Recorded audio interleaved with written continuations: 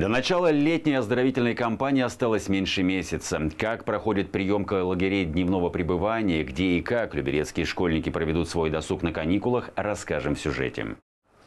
Лагеря дневного пребывания будут работать на базе 33 образовательных учреждений округа с 10 июня по 5 июля. Чтобы ребята комфортно, с пользой, а главное безопасно провели время, в школах началась подготовка детской летней оздоровительной кампании.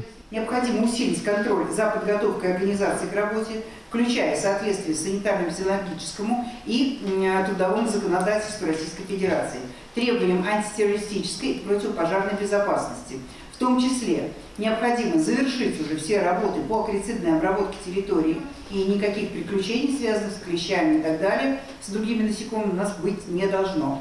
При школьных лагерях детей ждет восьмичасовое пребывание с бесплатным трехразовым питанием, дневным сном, играми и спортивными эстафетами. А более 230 ребят отдохнут в оздоровительных лагерях Подмосковья и Черноморского побережья. В первую очередь путевки получат дети из многодетных и малообеспеченных семей, участников спецоперации и оставшиеся без попечения родителей. Кроме этого, мы с вами проведем слет воспитанников спортивных школ и секций лагерь настоящих героев, патриоте, то, что у нас проводится ежегодно.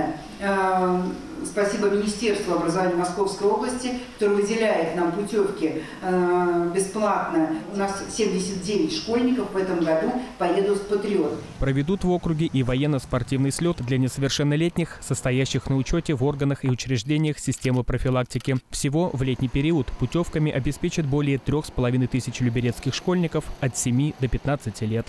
Богдан Колесников, Денис Заугольников, телеканал ЛРТ.